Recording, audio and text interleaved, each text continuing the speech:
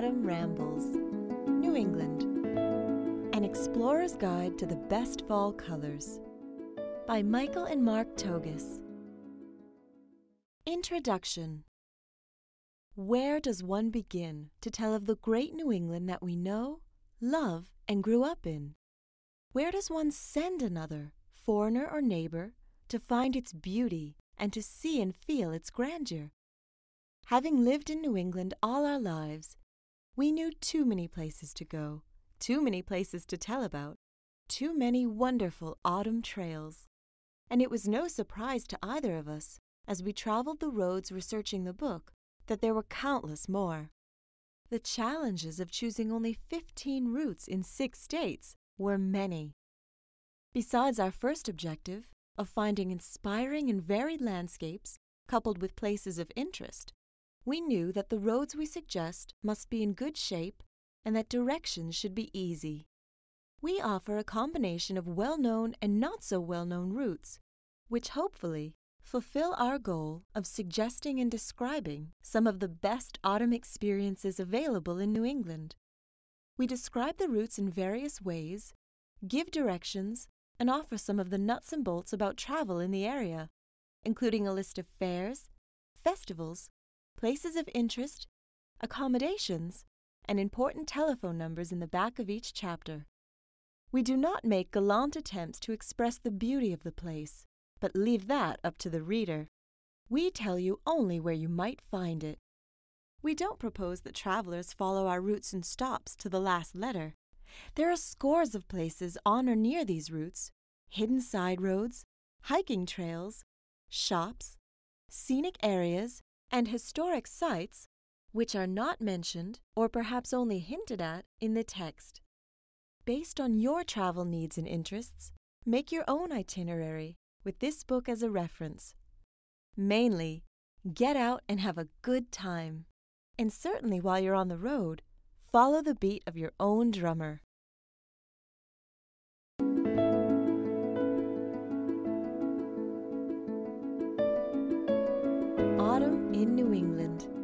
How, when, and where? Autumn is the season when New England shows off its best side. It seems as if the trees know they'll soon lose their leaves, so they send them off in a blaze of color. Oak, maple, dogwood, aspen, beech, and birch turn from a uniform green to distinctive hues of scarlet, orange, yellow, and maroon. And the evergreens deserve credit too, for they give the contrast and darker background that makes the deciduous trees seem all the brighter. As the shorter days and cooler weather cause the trees to stop producing chlorophyll, which has a dominant green color, the other pigments in the leaves begin to show through. In effect, the deciduous trees slow down at the end of the season, storing food in the roots, and the leaves' food making work is over. Different varieties of trees turn different colors, and it's this glorious combination that makes autumn so special. Although the different species of trees are responsible for the color, equally important, from a visual perspective, is the lay of the land. It's the hills and valleys that provide the vistas where a wide array of brilliant hues are splashed before us. In open meadows all across the countryside, wildflowers add their beauty to the fall. Yellow tones of goldenrod, pink and purple Joe Pye weed, and violet asters seem to enjoy the last strong rays of the sun. Even one of the conifers, the cone bearing tamarack, gets in on the act when its lacy foliage turns yellow before dropping off migrating birds and butterflies touch down for a rest on their way south, and hawks ride the thermals above ridgetops as they too head for warmer weather. All the while, the combination of cool nights and shorter days keeps the deciduous trees on their march toward peak color. Although fall's glory can be enjoyed throughout most of the United States, New England is recognized as the prime leaf peeping region with the most vivid colors. From Maine to Rhode Island, the area boasts the most dramatic colors because of the cool nights and the tree species that grow there. Autumn officially begins on September 23rd, the date of the autumnal equinox, when day and night are of equal length. It ends on December 22nd, but by that time the leaves have long since fallen. The trick in enjoying the foliage transformation is to time your viewing to coincide with peak or near peak color. The first hints of color usually start in the mountains of Maine, New Hampshire, and Vermont as early as the 1st of September and usually reach their peak at the end of the month and the beginning of October. The rainbow of turning foliage follows the Appalachian chain southward into the Berkshires of Massachusetts and the Litchfield Hills of Connecticut. By mid to late October, the procession of colors has spread eastward toward Rhode Island and the coastal areas of southern New England. Some of the most eye catching color is supplied by a handful of trees. Maples provide more widespread, vivid beauty than any other tree. Sugar maples can be scarlet, yellow, or orange, while swamp maples are brilliant red and are often the first tree to announce autumn's arrival.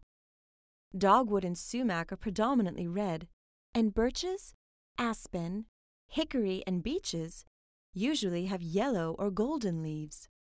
Oaks tend to first turn a rust color and then quickly show deeper shades of brown. Certain areas of New England are hot spots for foliage rambles. These include the White Mountains of New Hampshire, the Green Mountains of central Vermont, and the Berkshires in western Massachusetts. The main routes through these regions can get crowded with leaf peepers, but surprisingly, nearby back roads are often free of traffic. Sometimes, getting lost on a country road is the best way to see fall color, second only to walking through the forest itself. There are hidden pockets of New England that receive far fewer visitors than the popular tourist areas, yet the color and scenery can be equally dramatic. In New Hampshire, the southwestern portion of the state is often overlooked, and in Massachusetts, the central region surrounding giant Quabbin Reservoir is inviting to those who love a country road. Connecticut's quiet corner, the northeastern section, is still relatively unspoiled and has wonderful foliage in October. Coastal areas are usually not as vibrant as the inland hills, but the soft, muted colors of a salt marsh can be breathtaking. Rhode Island's coastline is often bypassed during fall foliage, but it has its own special beauty. Even if you miss the peak or can visit only a single tree in a field, be sure not to overlook this fairest of all nature's displays. For many, ourselves included, autumn brings a sense of urgency for one's need to be outdoors, to smell the woods, to feel the sun, and to walk and ramble just a bit farther. There are times, such as on a clear, sun drenched afternoon or cool morning, when wisps of fog rise to reveal the trees, and then the beauty of the colors is hard to believe. A few tips Make reservations for lodging, or you might be sleeping in your car. While early October is the most popular time for a foliage ramble, Consider September. Days are usually clear, warm, and dry, and the main roads are less crowded. Pack a picnic. Bring a camera and binoculars. Good hawk watching season. Consider purchasing a field guide to trees and wildflowers. It always helps to know the name of beauty. Remember to respect private property, not litter, and be courteous to other drivers. If necessary, pulling over to let them pass. This is especially important during foliage season on narrow country roads. Remember, not everyone is on vacation when you are. Although the routes described herein were chosen for their autumn appeal, most of them, quite naturally, are great trips any time of year, as each season has its own beauty. Many of the routes offer great swimming, boating, camping, hiking, and skiing possibilities. Certainly don't limit yourself to autumn. But don't pass it up either. Peepers Hotlines Connecticut Tourist Bureau 800 282 6863 Maine Tourist Bureau 800 533 9595 Massachusetts Tourist Bureau Foliage Hotline 800 632 8038. Seasonal Hotline 800 227 MASS. New Hampshire Tourist Bureau 800 258 3608 or 800 262 6660.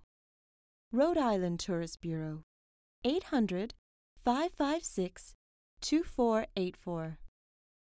Vermont Tourist Bureau 802 828 3239. Vermont Foliage Hotline 800 823 3239. What a beautiful month October is! It's the opal month of the year. It's the month of glory, of ripeness. I love to think that when the summer, with all its fullness of innate beauty, has gone through its course and is about to die, it knows how to break out with more gorgeous beauty and die with more glory on its head than it has in its positive freshness and vernal beauty. Harriet Beecher Stowe. I've been treading on leaves all day, until I am autumn tired. God knows all the color and forms of leaves I have trodden on and mired. Perhaps I've put forth too much strength, and been too fierce from fear. I have safely trodden underfoot the leaves of another year. Robert Frost. How beautiful when a whole tree is like one great scarlet fruit, full of ripe juices. Every leaf, from lowest limb to topmost spire, all aglow, especially if you look toward the sun. What more remarkable object can there be in the landscape? Henry David Thoreau.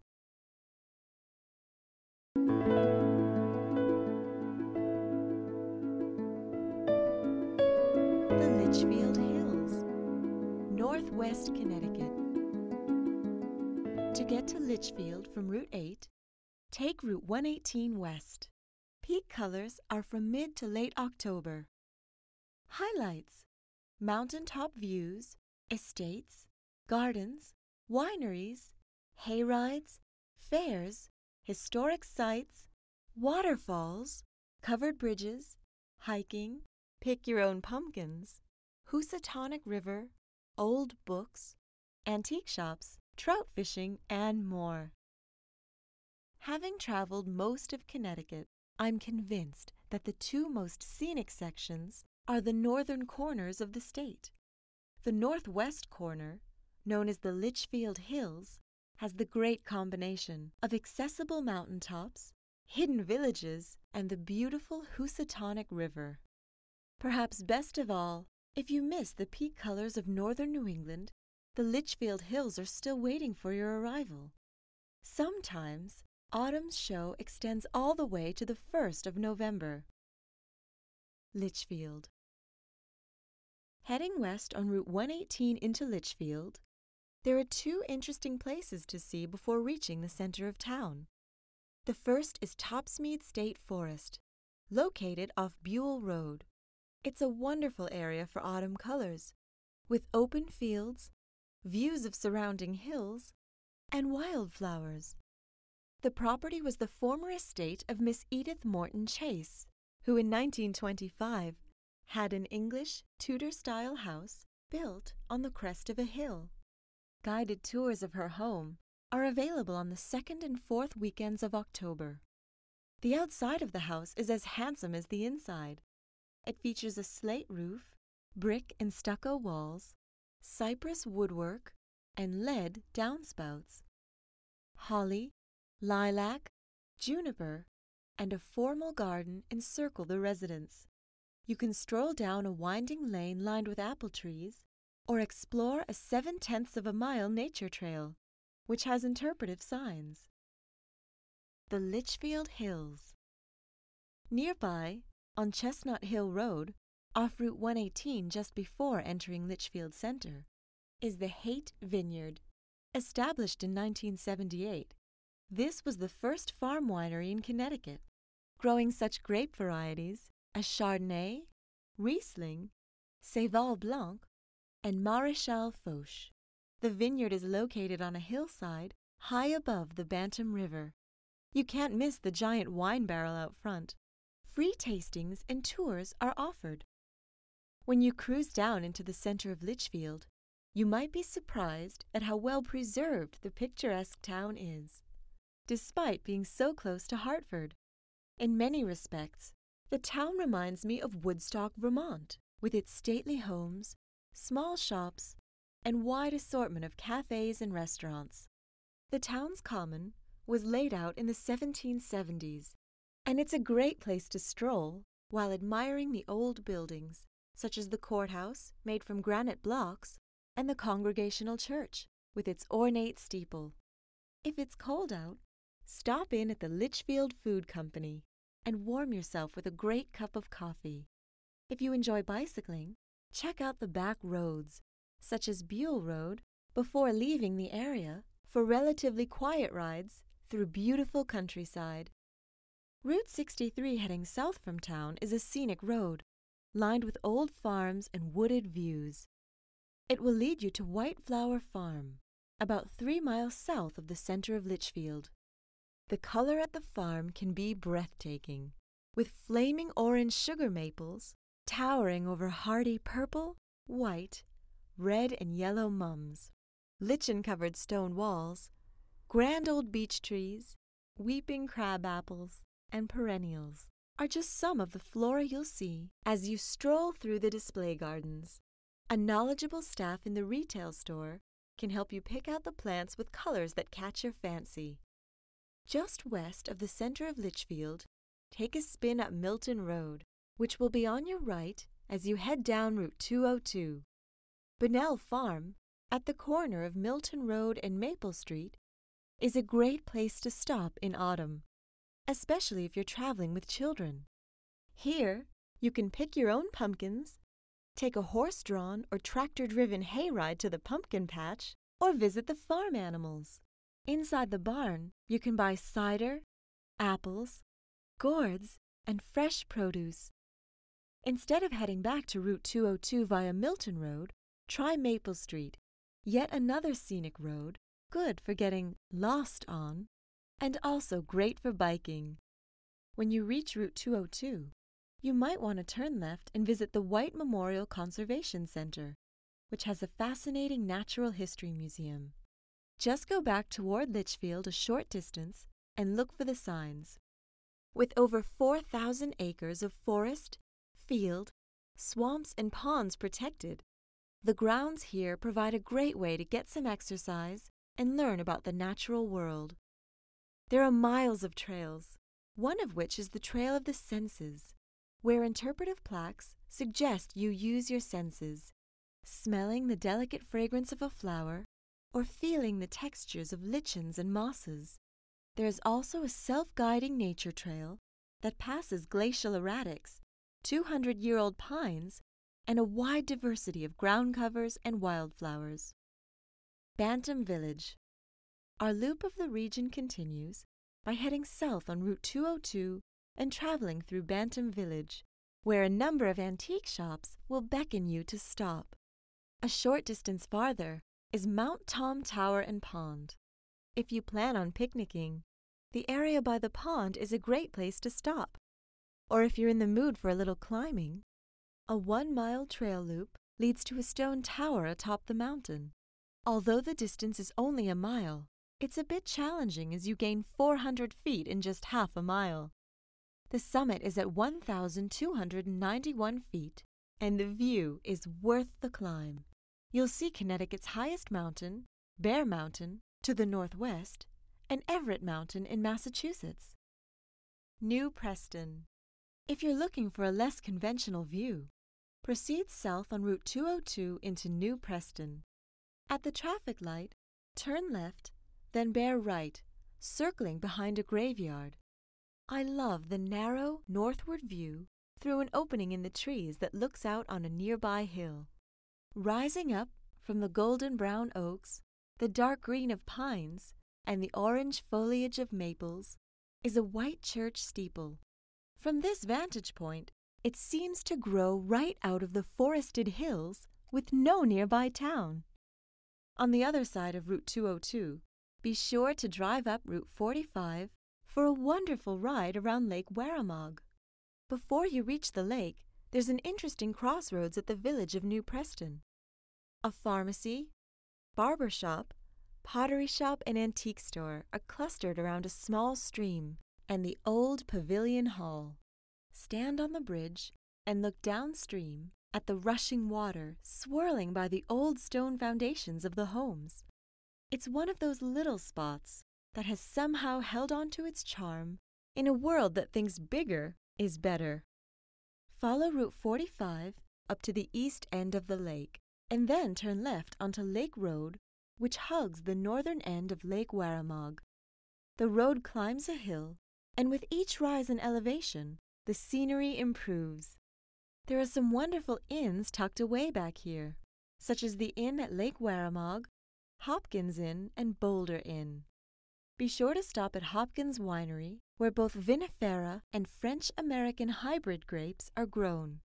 You can taste the wines or take a self guided tour through the winery, which is located in a renovated 19th century barn. And if you follow Hopkins Road through the vineyard and then go left on Curtis Road, you are afforded some spectacular views of the lake below and the hills beyond. Rail fences and horses in the pastures make the scene picture perfect. Back on the lakeside road, continue west, passing into Kent, and then to Lake Waramaug State Park. At this time of year, it's a peaceful spot, and you'll have to share the picnic area only with ducks and geese. Just past the park is a small marsh area where you might catch sight of a wood duck. They begin to migrate south at this time of year. The male wood duck's plumage matches the splendor of the autumn leaves, with iridescent patterns of green, purple, yellow, and red. In fact, the males even have touches of blue, about the only color not found in New England foliage. When you reach Route 202, head south. Book lovers should keep an eye out for Read and Write Antiquarian Book Center in a building with a wonderful ornate wooden door. It will be on your left. Just beyond the book center is Park Lane Cider, where you can purchase a jug of fresh cider to take with you on your journey. Also, watch for a sign for the Silo Gallery, where continuing exhibitions of arts and crafts by local and nationally renowned artists are featured. New Milford. When you come down the hill into New Milford, bear right at the signs for Kent. You'll pass the center of town with a lively village green, surrounded by stores and older homes many in the Greek Revival style. Then cross the Housatonic River, following Route 7 north. It's hard not to love the Housatonic, named by Mohican Indians, meaning the place beyond the mountains. In some respects, the river is a place beyond our world. Just sit on its bank and let the water hypnotize you with its power. An author from an earlier time, Chard Powers Smith, had similar feelings when he penned these words in his book, The Housatonic. The value of a river as a symbol of eternal truth is increased if the valley through which it flows likewise suggests permanence behind change, if the hills are wide and gracious under the sky. Here in the Litchfield Hills, there is a sense of permanence and grace. Kent. The Housatonic rises from the Berkshires in Pittsfield and winds its way south into the Litchfield Hills, adding scenes of beauty around every turn. By following Route 7, one can see the very best of the river. In Kent, Bull's Covered Bridge graces the Housatonic, spanning a rocky section of riverbed below. On the west side of the bridge is a recreational area. If you're a photography buff, Try following the Riverside Trail upstream for a hundred feet to capture the scene on film. Even without a camera, the worn rocks and potholes on the riverbed are worth the walk. The center of Kent along Main Street, Route 7, is quite attractive, with handsome homes and tall maples. Some of the side streets, such as Maple Street and Railroad Street, are also worth exploring, and it's best to park the car and spend a couple hours knocking about on foot. You can visit art galleries, restaurants, bakeries, upscale clothing stores, and antique shops. If you're here during the beginning of October, inquire about the annual Harvest Fair. One of the most fascinating stops on the entire ramble is the Sloane Stanley Museum, where a collection of early American tools and implements tell the story of our ancestors' working life. The tools were donated by Eric Sloane, the writer and artist who had a love of both history and craftsmanship. Sloane also discovered a small, wood backed, leather bound diary from 1802, which is on display at the museum. Written by Noah Blake, the diary was incorporated into a book arranged by Sloane that features detailed pen and ink drawings of life on the Blake farm. I purchased the book at the museum and found it gave an incredible glimpse into a bygone way of life. Sloane's drawings revealed not only the way folks lived at the turn of the 19th century, but how things worked, how tools were used, and the ingenuity of the settlers. Together, Sloane and Noah Blake give a history lesson that's pure pleasure to read. Also on the property is a reproduction of the cabin young Noah Blake describes in his diary. Sloane built this, too, and it includes an open stone fireplace and oven, table and chairs, and unique log steps leading up to a loft. To the rear of the museum are the remains of the Kent Iron Furnace, built with granite blocks in 1826. Just north of the museum along Route 7 is Kent Falls. From a distance, it appears the mountain stream drops off the edge of a cliff and tumbles 250 feet straight down. But if you climb up the adjacent trail, you'll see from a closer perspective the falls are comprised of numerous smaller drops, each with its own little pool. The ride north on Route 7 seems to get more beautiful with each passing mile. On my last trip, the setting sun lit golden rows of cornstalks and the mountains beyond, prompting me to seek out a high point of land to catch the sunset. At the village of Cornwall Bridge, I turned right onto Route 4 and wound my way up the hills to Mohawk State Forest. Driving to the top of the mountain, I was rewarded with views to the west and a sunset streaked with pink and even a bit purple. One place you really must visit in the daytime is the center of Cornwall Plain, just off Route 4. Quiet country lanes pass by two churches and front yards that still have hitching posts out front. But for me, the real attraction is poking around the back roads, such as Essex Hill Road and Valley Road. At one time, this was the location of the Cathedral Pines, which was a rare stand of old growth white pines. But a few years back, a tornado cut a swath through the outskirts of town, taking down everything in its path, including the pines.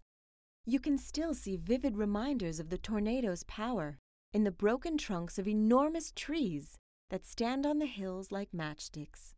It's wild country, where you're almost as likely to see beaver and deer as passing cars. Sharon. Another interesting side trip to take is towards Sharon, west on Route 4. On the way up, you'll pass the Northeast Audubon Center, which has 11 miles of trails, herb and wildflower gardens, a bookstore, and exhibits. The sanctuary's 684 acres are well suited to an autumn walk, featuring a pond, stream, marsh, and forested hills. Beaver, osprey, otter, and wild turkey are some of the wildlife you might see. Nearby is Ellsworth Hill Farm, which grows a dozen varieties of apples and produces apple cider. The center of Sharon has a long, narrow green laid out in 1739 and is one of the finest in all Connecticut.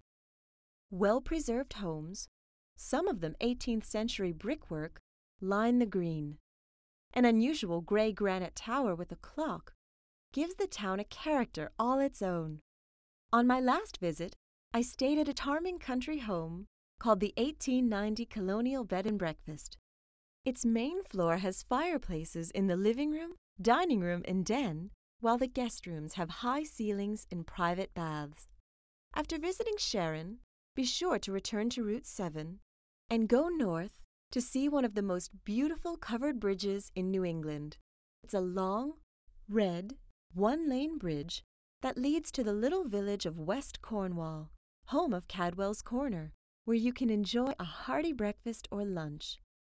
Nearby is the Cornwall Bridge Pottery Store, featuring world class stoneware and other fine craftwork. Jan Ingersoll's Shaker Furniture Shop is just down the road. When I stopped to take pictures of the bridge, I couldn't help but wet a line in the Housatonic, an excellent trout stream. Much of the river is designated as catch and release to help preserve the quality of the fishing. Although I didn't catch anything, I had the pleasure of watching a great blue heron fly from a rock and wing its way upstream. These massive gray colored birds stalk the edge of rivers, ponds, and marsh, looking for minnows and frogs to snatch with their long bills. Salisbury.